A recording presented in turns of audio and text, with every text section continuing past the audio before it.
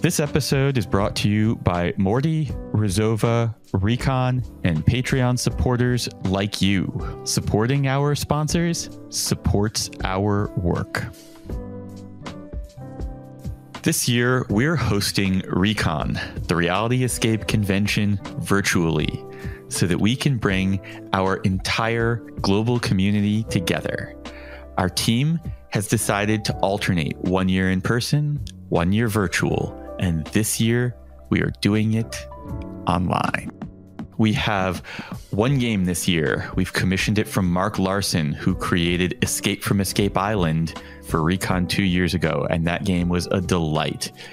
He is once again back and blending a little bit of escape room insider design along with some silly and playful game elements. It's going to be a blast. Recon has a variety of ticket types to meet your needs, and the basic ticket is free. No tricks. We want our global community at Recon, and we hope to see each and every one of you there August 19th and 20th, 2023. You can learn more at realityescapecon.com. Details in the show notes. Tickets are on sale now. Welcome to the Reality Escape Pod, your lifeline when you need a getaway from the real world. I'm David Spira, alongside my co host, PG Law. Together, we're exploring immersive gaming from all angles, and we'll be joined by guests who really know their stuff. Today's guests are from Colorado Linda Klein and Brian Corrigan of Farm to Spaceship. For the past few years, they have been bringing elements of immersive design, fun, and play into more traditional business environments. Welcome, Linda and Brian. Thank you. Yeah, thanks for having us. I met Linda at the Denver Immersive Gathering, and I was really intrigued by some of the work that she was doing in Denver with local businesses and introducing immersive elements into them. And so I'm excited to have you on. Farm to Spaceship is a fantastic name. How did you guys come up with it? We work across the state of Colorado, and we were in the southern part of the state, specifically in the San Luis Valley. Well, it's my favorite part of the state. It's very eclectic, and there's a lot of farms down there. And there's actually even like UFO watchtowers. And so we were on a road trip and we are driving through the San Luis Valley. And, you know, I look to my left and I see the UFO watchtower. And then a little bit down the road, there is a sign with a cow on it for a cow crossing. And I'm like, wow, the San Luis Valley is really everything from farms to spaceships. there you go. there you go. And then we started thinking about it, and it's like, wow, Colorado is actually from farm to spaceship because there's a lot of agriculture and there's also aerospace. And those are kind of the top industries. And so we just felt it was very fitting for working in Colorado. And it's a great conversation starter because it, it asks more questions than it answers. Truly. I mean, we used it as a conversation starter. I love that. So, from what I can see on your website, Farm to Spaceship pairs local artists, designers, foodies, entrepreneurs, and community leaders to develop experiential offerings for customers and the community. And you do this through things like Adventure School and Adventure Lab. So, can you tell us a little bit about these programs? I'll start on Adventure School. Adventure School is a year long program where we do bring these people together, sometimes artists, small business entrepreneurs, and they discover how their practice, their business, what they do intersects with the experience economy. And the experience economy is important because 74% of Americans prefer experiences over stuff and things. And that data point comes from before COVID. So we can only imagine how high that percentage is. And many businesses aren't thinking about how to engage in the experience economy. They're not thinking about how their art, their practice, their business is already an experience and how you can design for it. That's kind of the kernel of the adventure school, but it has a lot of layers because it's very dynamic and it depends on what sort of sector we're working in. Is this like a course or a class that like local businesses and artists can take? I like to think of it as like a, a, business accelerator, but specifically focused on experiential offerings.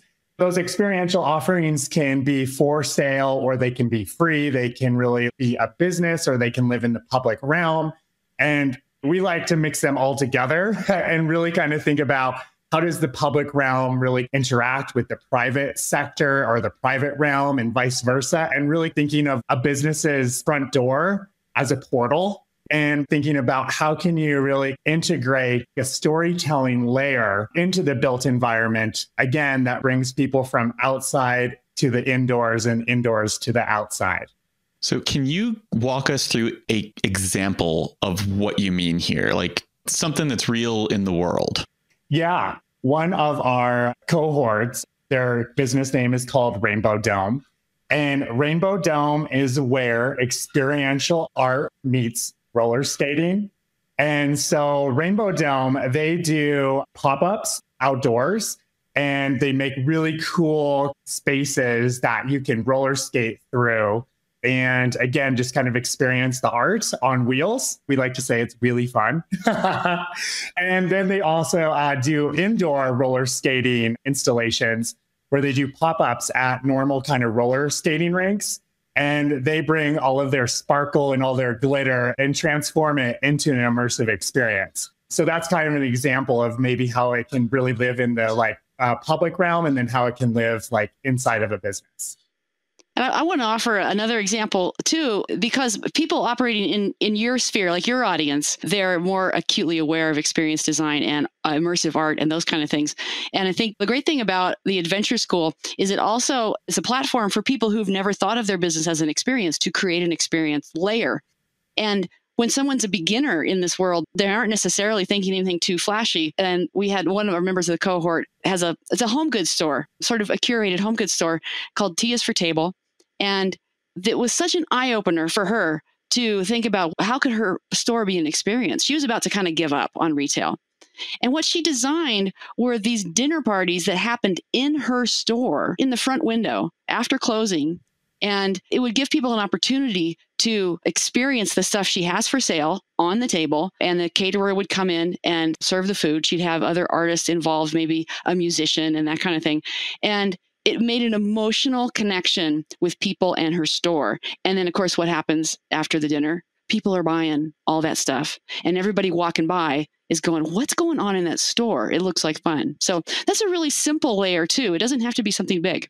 So it sounds like what you're talking about is using experience design to go and create both opportunities for people to bring larger numbers of people into their business and also kind of a reason for them to go back to a business that they might not have visited again. A great byproduct of this program is that business owners and entrepreneurs begin to understand they are artists, and artists begin to understand they are entrepreneurs and small businesses. And it's all one thing. And when you understand yourself that way, like, oh, my canvas is my small business. And it also takes artists out of the position of being the starving artist and into a position of, no, I create economic value. I just feel like a lot of artists sometimes feel like they're selling out if they're going to create something of commercial value. And I really like that you're pointing out that's not the case. It's not bad or wrong to create something that's both artistic and has commercial value. I think it's kind of interesting, really, as like a creative sector, that there's even this vocabulary that we subscribe to that we're going to be starving artists and that there's almost like a validity to your work when you subscribe to that but i don't see in other industries if you like say graduate with you know a tech degree where you're like i'm going to be a starving technologist because i'm going to just give it all to the industry you know? We work in community development and we've kind of realized that the placemaking starts with really the thoughts within your mind right? And so I think that's one of the things that we try to do with the adventure school is to just like X out the notion that the starving artist is even a thing. I personally hate the way that culturally we glorify things like mental illness and substance abuse and suffering as the only path to artistic success. It's sort of like pick your poison, which to me has always felt like a very false offering. Well, and yes. the fact that we uh, label people as artistic or not artistic, um, mm-hmm. it all just depends on what is your canvas. That was the other thing that you were touching on that I had a really strong positive reaction to, which is my background is in UX design. I've been doing this for a long while. And everywhere I go, I kind of find myself asking the question what's the experience that I'm having here? Is this deliberate? Is it not? And I think more often than not, when I'm walking into stores and brick and mortar businesses, the answer is that the experience that is being presented is haphazard. It's not one of choice. It's not one where someone looked at this and said, the signage is a canvas, the front door is a canvas, my windows are a canvas, the interior is a canvas. The things that we're offering and the way that we're stocking it are also a canvas. It's, you know, why I do most of my shopping online. It's almost every time I walk into a store, I can't find anything that fits me that's a canvas and it's forcing me to make decisions as a customer we use some language around that. We call them experience dials or sliders. Like a imagine like a soundboard that's got like a mixer, an equalizer. It's got all these sliders on it. And if you label each of those sliders with different experience design elements, you can learn to slide those up and slide those down to get the perfect mix that you're looking for. And I, I think one of the things that maybe you're speaking to could provide some language around is sort of the humanizing of the experience as the experiencer. Does it matter that I'm there? Where do I get to choose or how do I affect the outcome? And you think maybe a small market as opposed to a big grocery store. Well, someone behind the counter could easily know your name right? And that mm-hmm. really changes the experience, even though they might not have something in your size or have what you want. That's dialing up the personal part of the experience. The funny thing about what you just said to me is that the way that you just defined this out is also the definition of what we room escape artists use to decide whether we're going to cover something or not. Is something an immersive experience, something that we have agency in? Does it matter that I'm the person who went into the experience versus anyone else? You know, if I go into a Broadway show, that show is going to be the same show whether I'm there or not. But if I go into something that is more immersive, it does matter that I'm there. And if someone else is there, then it's going to play out differently. So I love that we have this sort of philosophical overlap and you're bringing it into a very different space. I have a follow up question to what Linda mentioned earlier about your design mixer, which I really enjoyed that analogy. What would be some of the different labels that you would have on the different sliders? It really goes into the senses. So, really kind of sight, smell, touch, taste, right? And so, really kind of thinking about the senses.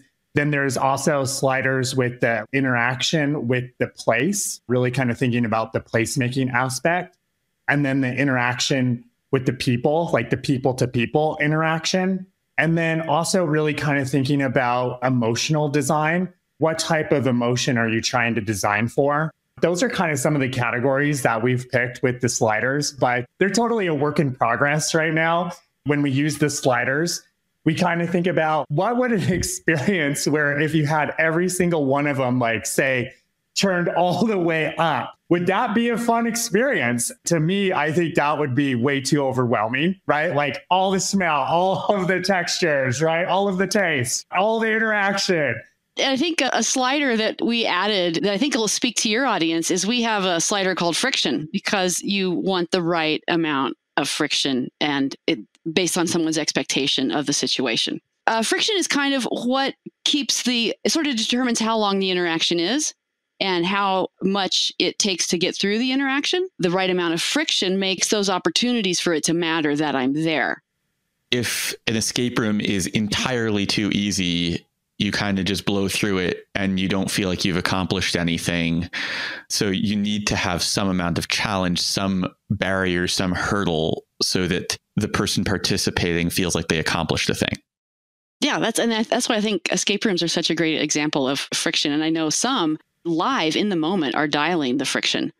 Yes. To personalize the situation. And I think you could say that's also true for an artist, entrepreneur, or small business owner who is really skilled at the experience design. They can adjust the amount of friction in the moment to let that person have the experience they're looking for. Brian, you used the term placemaking when you were describing some of the work. What does that mean? You can think of placemaking as just, I guess, the deliberate design of the public realm, thinking about where you might put a trash can, where you might put a street light, where you might put that bench. But then I think creative placemaking kind of takes it to the next level and really starts to think about how is this place different because of where it's located and the culture that exists within that place. And it's a lot more intentional and unique and different.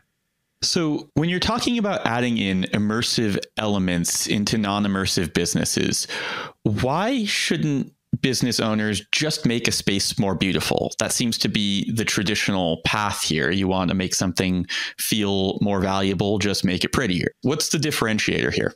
I think the thing is that we always kind of talk about is what are the opportunities for co creation and really engaging people outside of the business. Like you could just call them, let's just say for simplicity, your customers.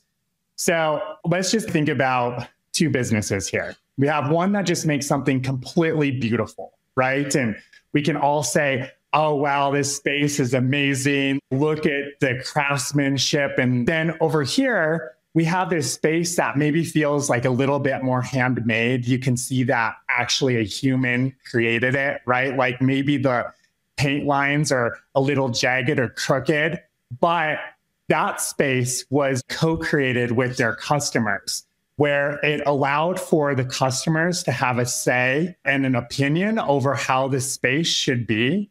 And is what we like to say is that their fingerprint is on the space. And that's important because just kind of think about like when you're involved in a project and you get to put your fingerprint on it and that you get to actually have some sort of agency over really the result of it. Like that leads to love. And if you do it right, if you do it right, it leads to love. uh, and that's what we want, right? We want spaces that we love, right? That I feel at home at, that you can bring your friends to and say, hey, look at that. I helped make that. Isn't that cool? And again, it's not to say that one is better than the other or one is more right than the other. I think that there's room for all of these to exist together. But again, I think that there is kind of something very special about spaces that are co created. What does it lead to when you do it wrong? you wouldn't know. exactly. For me, when I see this done wrong, it comes out in one of two ways. One is it just feels excessively processed and kind of fake. The other is it feels too niche, too particular, like someone made their idea in a vacuum and never took any input from anyone else and never thought that maybe other humans might want to exist in a space that's not quite this extreme, sort of a hug of death. Think about a brand or a business can spend a lot of time going, this is who we are. This is who we are. This is all that's their marketing or that's how they present themselves. Here's who we are. Here's who we are. And it changes when they say, who are we together? Who are we now that you're here? and change all those sentences into questions. And I think we can sense that when it's sort of human shaped, when the brand or the business or the art is like the host of a party.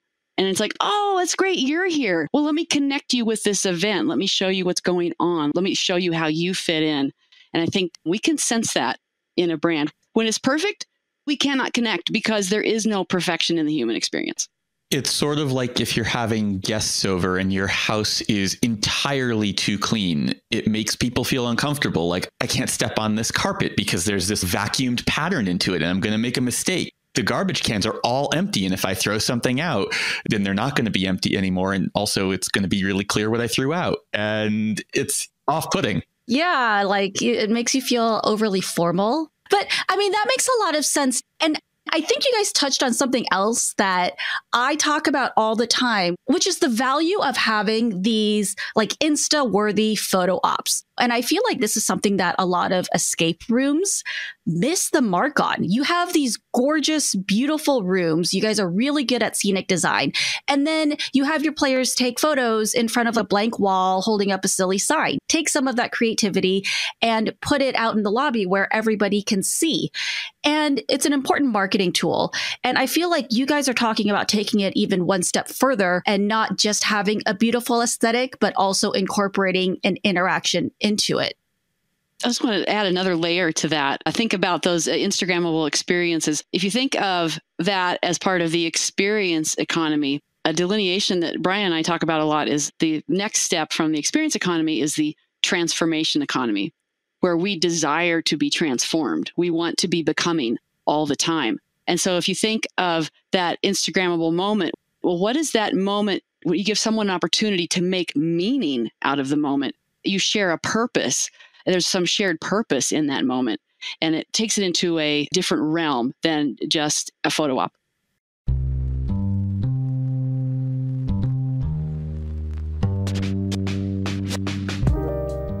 We're taking a moment to thank our sponsor, Morty. Morty is a free app for discovering, planning, tracking, and reviewing your escape rooms and other immersive social outings. And Morty is now available for all to use on its brand new web experience, in addition to its fantastic iPhone app. I believe in Morty so much that I have a stake in it as an advisor. If you've been following along with Morty, you know that they now have web availability and you can use this to track all of your games. I know a lot of our listeners are extremely robust players. You guys probably have lists in the hundreds of escape rooms over the years that you've kept up. You can now import your list to Morty. They have a special AI powered Blitz tagger tool. You don't have to tediously enter in every game manually into the Morty database. You can just upload your list and it will match your game and import all of your played games automatically. As someone who had an impossibly large list of games that I had played, I said to the Morty team, there's no way that I am going to go and spend all the time I need to get my games into this by hand. I need a tool and they rose to the occasion. And with the Blitz Match tool, you can upload a list and let the bots do most of the work for you. You can access this at blitzmatch.morty.app. You can learn more at mortyapp.com slash repod. That's R E P O D to sign up and get a special badge for our listeners. Link and details are in the show notes. What you're touching on for me is it's the reason why I can't stand the selfie palace type of business because I think that experiences should have both a purpose and a soul. And by that, I mean the person who enters it, there should be something for them to accomplish, something for them to do, something for them to get out of it. And the soul, it should feel like it was made by a human with care and love and craft. And this notion of I'm going to go to a place so I can take a series of photos that represent things I didn't actually do in a place that doesn't really exist, that is lacking both purpose and soul. I think it was a shiny, fun object that we had for a certain moment in time, but I think you're right people are looking for more than that. If we're comparing Insta worthy things that came with the rise of Instagram, and I feel like that's going down, and something like TikTok is on the rise because it's video and it's about interactions and not just a still life, not just a snapshot. Right now, it's about how something made you feel. It reminds me of like the Nest. So there's this experience in Los Angeles that is kind of escape room, but mostly it's like an immersive interactive story and you have this moment of introspection and now you have kind of become part of this experience and you're right that experience has really left a mark on a lot of people. People talk about it all the time. And I think part of the reason why is because it did ask you to give back a little bit and become part of it at the end. And if you're interested in the nest, We interviewed the creators on season three, episode 10. You know, I think the thing about escape rooms is there's the power of play to bring people together to kind of create that social cohesion. Whether you're there with like someone you know really well or you're there with a stranger. Again, the power of what we're talking about here is that I think people are craving that human to human interaction. Well, there's a ton of agency in play, and no one can be playing unless they agree to play. Everyone chooses to play. And that right there is its tiniest little level of agreement. And you can build on it, whether you're designing an escape room or community building. I always think about there's this positive side of things that people opt into. There's also this negative side of play that people are sort of forced or coerced into, particularly in business environments, the mandatory fun or the excessively prescriptive forms of play. What are your thoughts on those? Forced fun. you know, it's funny because we talk about this a lot. You have to opt in in order to actually play if you don't opt in, that is forced fun. And I wouldn't really categorize that as play. I think that there's like one side to why play doesn't exist in the workplace. And we call this serious. Linda and I always kind of talk about like, why is serious driving the car? Why can't fun be driving the car? But I think serious is easier to do. When you think of hierarchies, it's like Serious exists at the top of the pyramid, and it's easier to do because you don't actually have to have a relationship with someone. You can just kind of bark orders. But fun and play, on the other hand, as we were just saying, to do it right, you have to opt in, which flattens the organization. You have to see people for who they are, and you actually have to get to know them a little bit. Real fun requires a little bit of a commitment to the person you have to know a little bit about that. So, how do you get past that in an organization? It's the foosball table in the middle of the tech office that no one ever touches. Even gym class in its own special way. There are these environments that are all around us that are implying that fun and play are supposed to happen, but the reality of what is actually occurring is very different the foosball table, the giant Jenga, and all those things, they are examples of statements. This is fun. This is fun. We're going to have fun. And I think to create fun, you have to ask, what would be fun? How can we have fun? The other person has to be included because not everything's the same fun for everybody. Just because it's brightly colored balls doesn't mean it's fun. So I think it has to include an openness and it has to start with a question. I used to have a client. They don't exist anymore, so I don't feel bad about telling this story, but they had a slogan. Their motto, their slogan, their catchphrase, their everything was execute with excellence. And they had so internalized this notion that everything they do is executing with excellence, even when they weren't, because it's what we do. It's right there, it's written underneath the logo. And I think that that is I think that's one of the struggles that I see a lot of companies grapple with is that they tell these stories about what it is they do and what it is they are. And they don't always do the hard work of figuring out if they're doing the thing they say they're doing. Yeah. One thing with it too is I think it comes down to trust. I think sometimes there's just a huge lack of trust. Fun requires trust. And what's fun for me is maybe not fun for the other person sitting next to me. Asking them, what is fun, as Linda was saying, what is fun for you? And how does that look? And then being okay with the answer and trusting them that they'll go ahead and they'll kind of be able to deliver on that and still be quote unquote productive and produce what's needed. But I think that's the thing is I think it's just really it comes down to trust.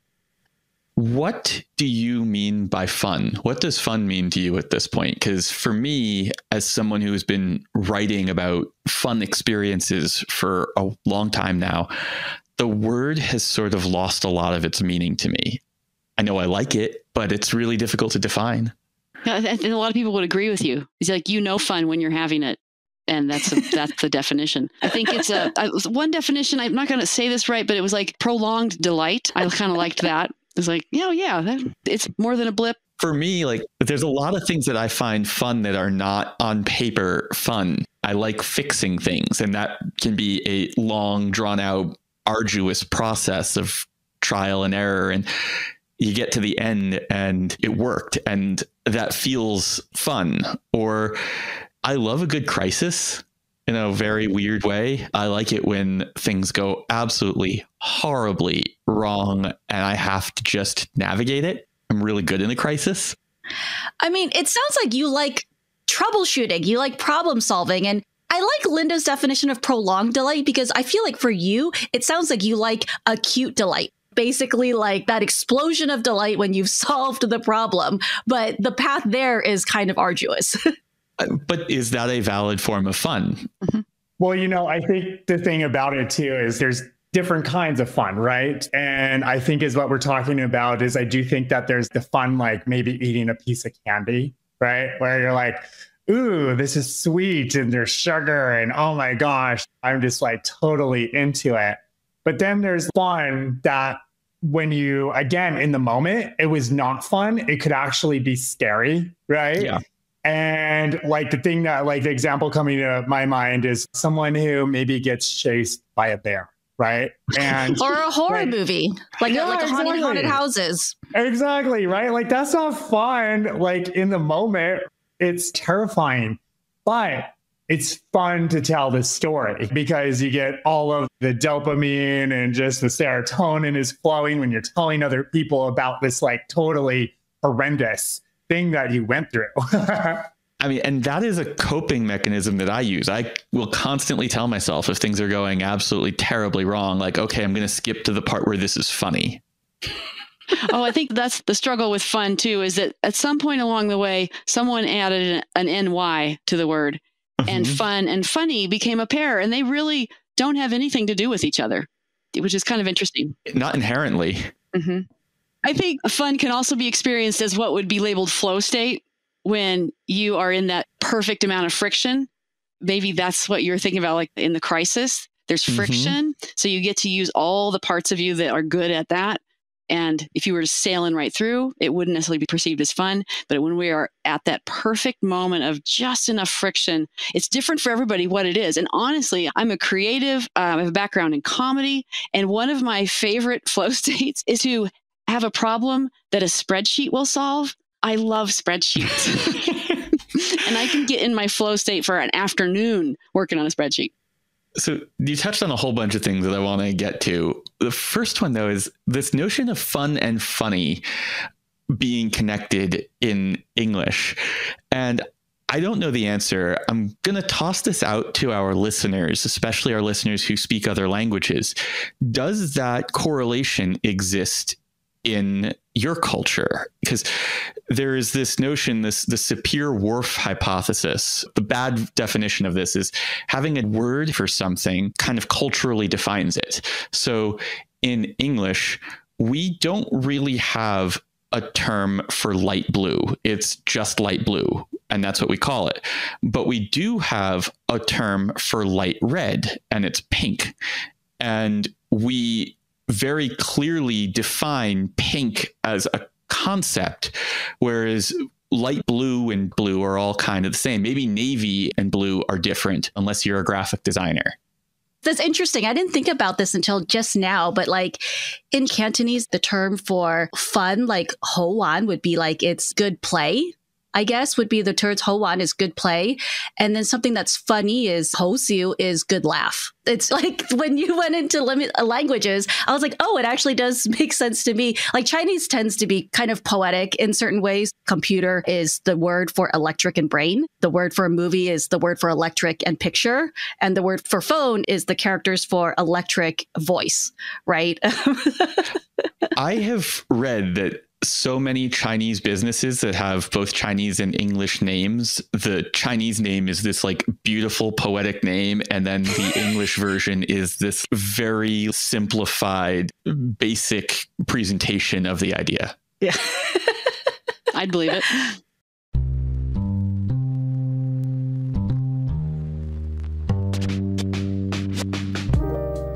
Rezova is your all in one, all inclusive software for bookings made specifically with escape rooms in mind. Incorporating community driven features, it's designed to follow the guest journey from selecting times to book, waiver management, integrated point of sale system, and follow up emails. Rezova is the ultimate online reservation software designed to elevate the guest experience, increase game master efficiency, drive sales, and improve operations. PG, what is fantastic about Rezova is that they offer something for the owners, something for the guests, and something for the GMs. What does Rezova offer GMs? I saw their calendar system and it was beautiful, it was simple, it's easy to use. When you're a GM, what you care about is increasing your efficiency. You're already juggling so many different things, welcoming customers, running games. You don't want to have to worry about handling a super complicated system. Their calendar view makes it very clear at a glance what times are booked, which slots are open, whether the team has already paid or not, and how many people it's booked for. They also have the integrated point of sale system, which just makes your job that much easier and that much more efficient. And with everything being so integrated, your game masters only have to be trained on one system. To learn more, get a free demo, and find out how easy Rezova can make your transition to their technology, head over to rezova.com slash REA and be sure to use our link or drop our name because as a thank you to Repod listeners, Rezova is offering up to $100 in Google AdWords when you sign up through our link. Details in the show notes. Linda, you were just mentioning your background in improv. Talk to us a little about how that has influenced the work that you do. Well, I think the tenets of improv are pervasive in anything someone does. And I think applied improvisation is a valid form of functioning, of thinking for any anything you want to take on. You know, it's it's the basic concepts of trust, yielding, committing, listening. And of course, the one that most people know, yes and. What if I plus everything instead of minusing everything? What can I do to add to? Take what is and add to acceptance. So I think anybody's had the tiniest little bit of improv uh, exposure has some or all of those. It just it changes how you think about things. And a, a typical path can be once you learn improv, you want to look for opportunities to perform improv. And then it becomes improv performance, which is a really different thing. And it's unfortunate that the word comedy got connected to the word improv because people get intimidated because all they hear about is improv comedy. And they're like, I'm not funny. That sounds scary. And improvisation really has nothing to do with that. It, it, did happen to be my path, but in my maturity, I'm seeing how it's really not to the best interest of the word improv to have anything to do with performance. I mean, we're improving together right now. Mm-hmm.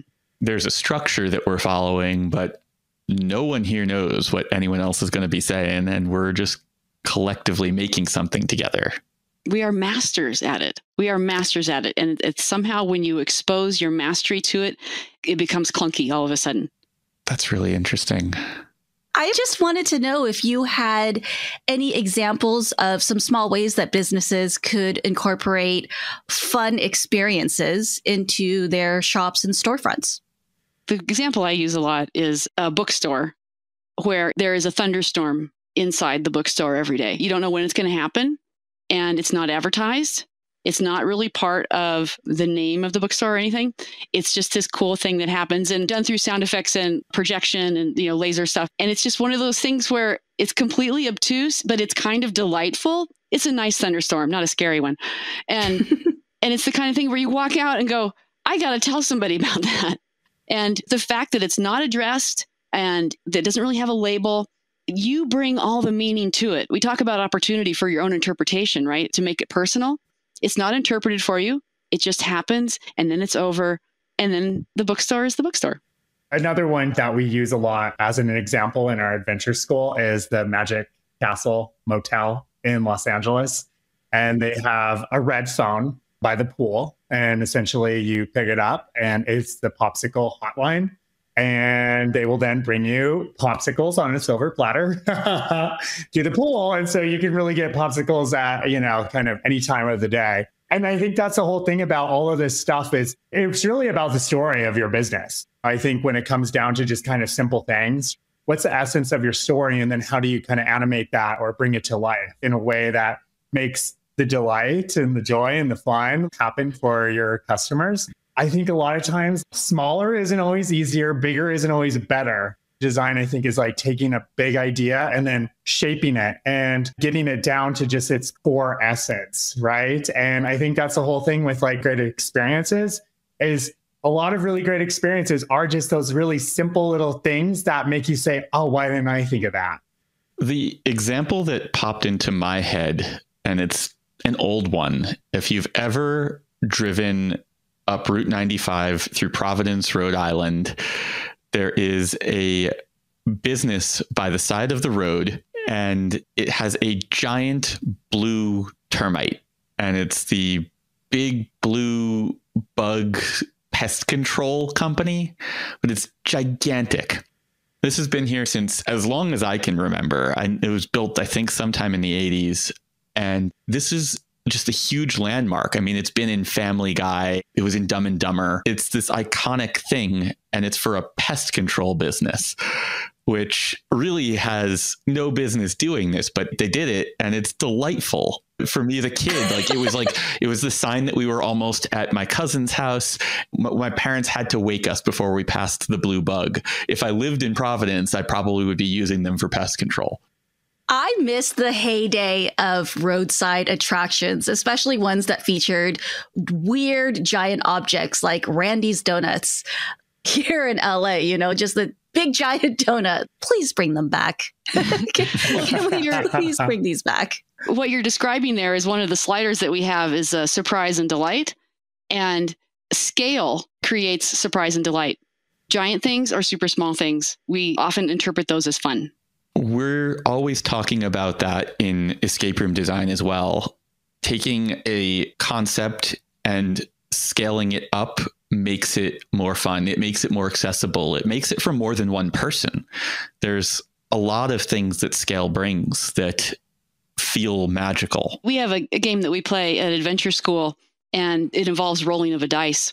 And we have done both sides of the scale. We have played that game in groups where we have these huge inflatable die that they play with. And we've played it in groups where they have this almost imperceptibly small, really hard to find little tiny dies. And both of those create moments of delight because it's unexpected. You have to change how you normally interact with the thing to make it work. I love that. That's also sort of like in a place like Meow Wolf, where if you look through a small little hole and then you see a giant world in this tiny space, yeah, it's surprising and it's delightful. I just wanted to shift gears a little bit. Linda, when we were chatting in Denver, it sounded like Farm to Spaceship was funded by government programs in order to help these businesses improve their offerings with experiential interactions. I wasn't clear if Farm to Spaceship was funded by the government or if you help these local businesses find government funding. Uh, the resources to do Adventure School come in a lot of different ways. Some of it is through cities and communities, and some of it's through grant programs. It just kind of depends on where we're working. Brian can speak to those mechanisms a little better than me. Yeah, the very first adventure school that we uh, created is in Centennial, Colorado. And funding for that program actually comes from their economic development office. And that funding was earmarked because you know they had the community go through a planning process of who do we want to be. And the community said, we want Centennial to be a place of really great and fun experiences from our neighborhoods to our shopping centers. And so because the community really kind of asked for that, then Economic Development Office was able to go ahead and create a fund that would then really start to bring that to life. And then we also work in San Luis, Colorado. And San Luis, it's the first town in Colorado. And it's a town of probably about 700 people. It's like super small. And so that particular funding to bring the adventure school to San Luis came from a grant that is from a group of foundations in Colorado working to have artists work with other sectors to be able to integrate the power of arts. So it's like arts and. Again, that funding came from really kind of philanthropic partners. And then also the state of Colorado matched the, the funding from the philanthropic partners. So it really kind of comes from a lot of different places. If I were to attend adventure school, what would that process look like? What is adventure school? Well, it starts with a multi day intensive, two or three days of coming together. And the focus of that is to create a cohort, to create some shared purpose, and to start just the basic building blocks of experience design. And then think of it as an apprenticeship that happens over several months, but it kind of depends on what sort of sector we're working in and how it exactly looks.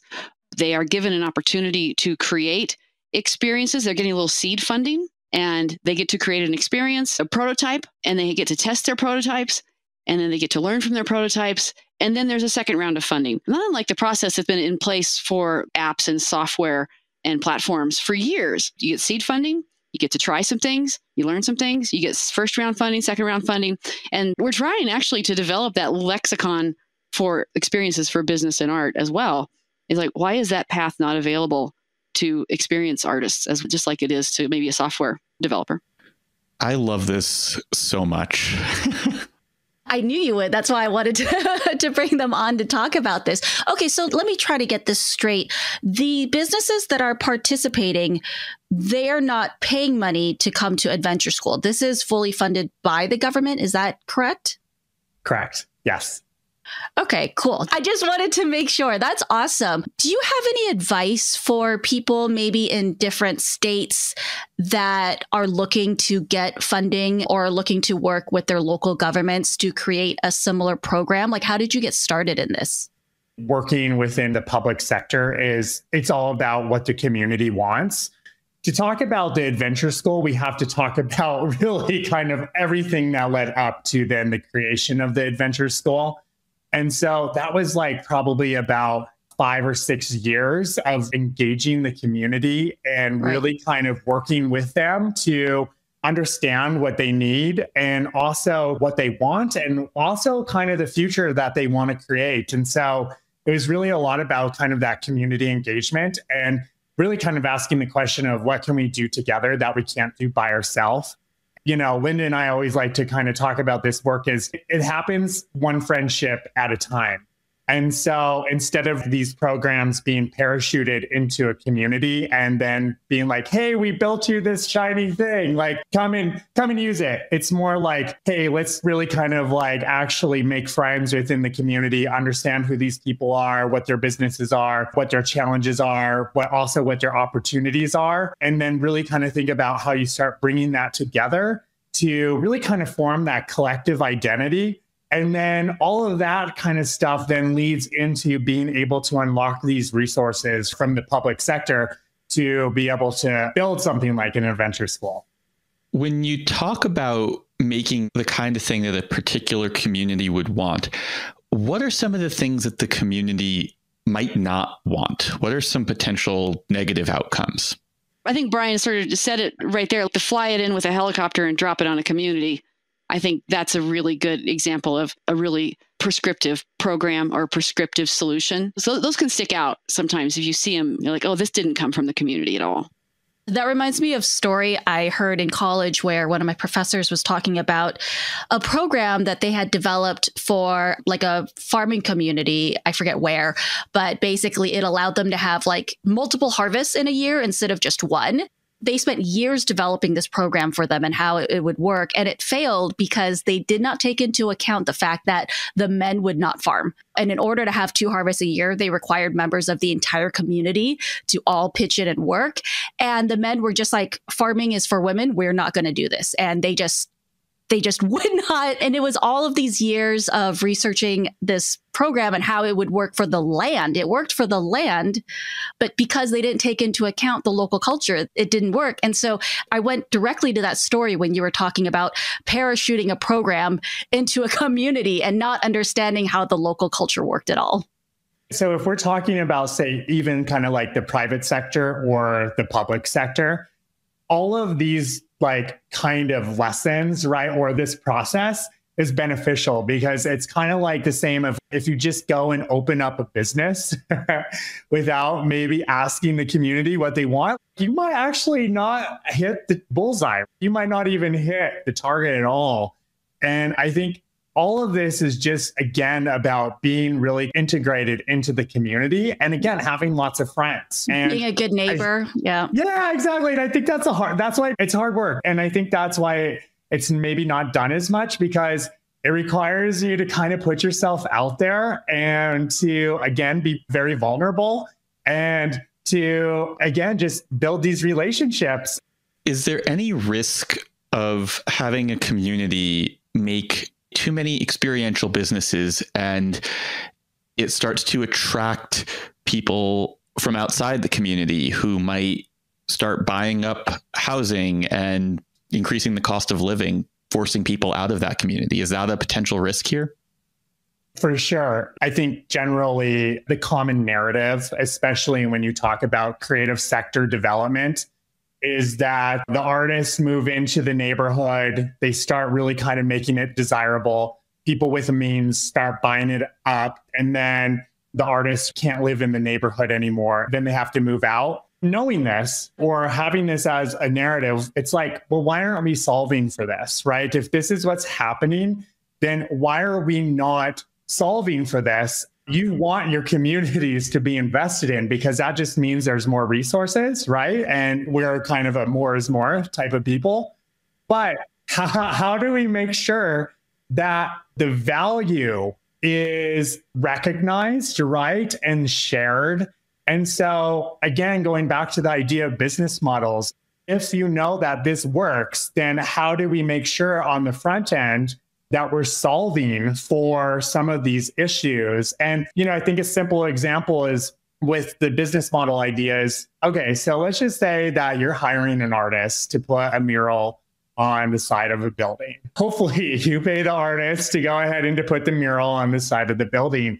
But as artists, what else can we ask for? Right. And how else do we own our value and our worth if we know that we're going to help increase the value of the neighborhood? What about actually some sort of like ownership stake, right? Equity in the actual building. And it's all about just like kind of right sizing it. So maybe it's like 0.1%, or maybe it's 1%, 10%. I have no idea it's really kind of thinking about how we can really be better negotiators because we know our value and then creating the conditions so everyone understands the contributions. And I think that right there starts to kind of lead into better conversations about really how do we create equitable and inclusive development. That's something that I think is important to maintain in the conversation because it's important for communities to grow together rather than have the value get extracted and end up somewhere else.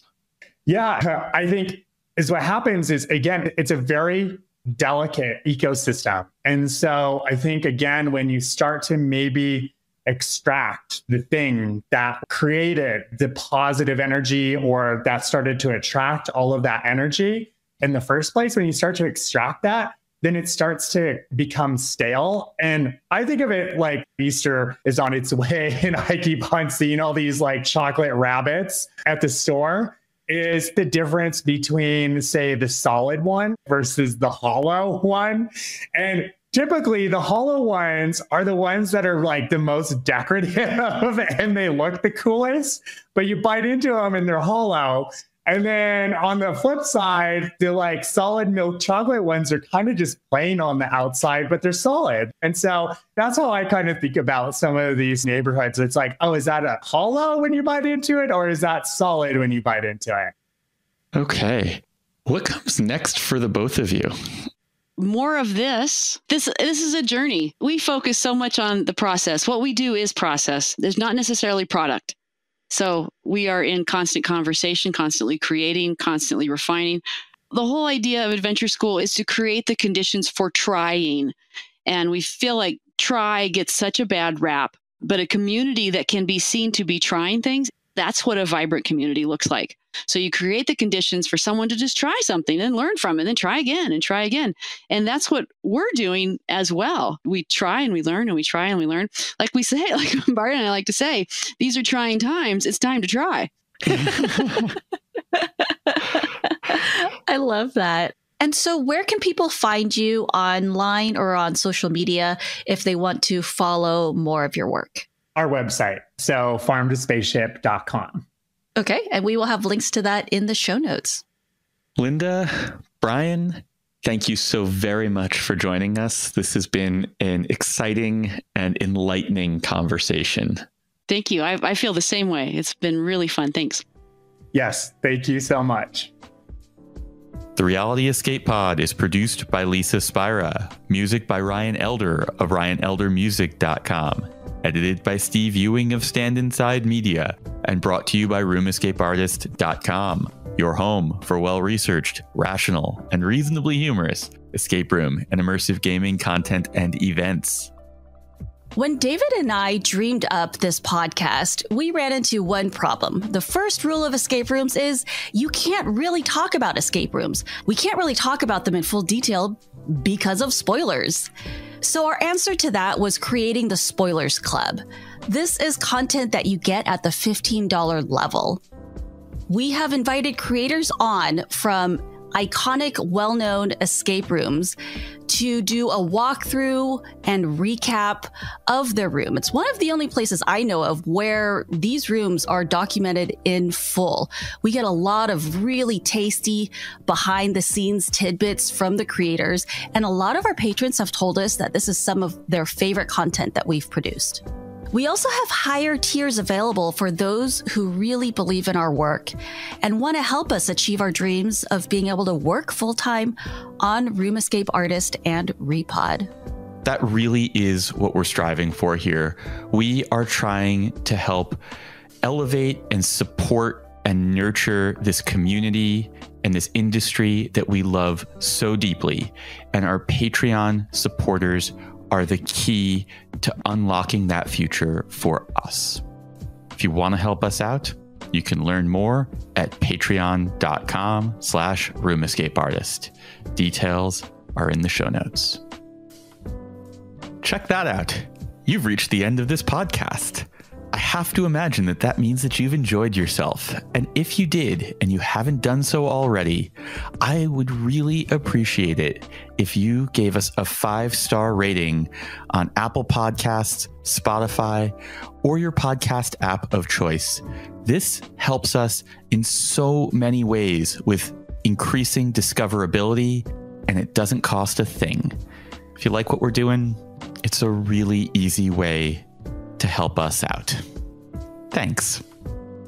Thank you to our highest level Patreon backers Breakout Games, Derek Tam, Olivier Escape, Escapism, Escaparium, Panic Room, Byron Delmonico, Josh Rosenfeld, Paula Swan, Rex Miller, Scott Olson, and the Ministry of Peculiarities.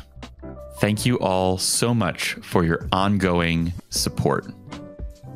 I just want to describe an immersive comedy show that my comedy partners and I created years ago that is still one of our favorites.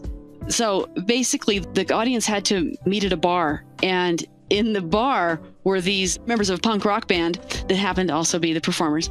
And they were creating a song and they needed help from the audience to create this song. And everybody had this great time. And then it was time to leave. And this band that was called Death Puke, that's what we called ourselves, said, Hey, you guys can take our tour bus. And so they're like, okay. And then so they all went outside the bar. And then that pulls this tour bus. And everybody had to get on the tour bus. And, the, and when they got on the tour bus, it was an absolute wreck. You had to move something to be in any of the seats. Maybe it was a pair of underwear, maybe it was a, a pizza box. There were photos, all kinds of memorabilia that told the story of this band. And that is how this show went into motion was everybody got on the tour bus and the tour bus drove away. Nobody knew where they were going next. And eventually, uh, around the corner, it broke down, and everybody had to get off the bus. And these workmen happened to show up in a truck and these workmen who happened to be the same characters that were in the bar had everybody help them fix the bus and then we decided we had to tow it. We tied a rope to the bumper of the bus and to the to the truck, and we towed the bus up the street and then took off. And then every step along the way, the characters would show up, and nobody knew what was going to happen next. And we, we went into the woods, and they wandered around, and they, they found all these characters, and I just so enjoyed creating that. It was a ton of surprise and delight. It was all the elements of experience design before I had the words for it.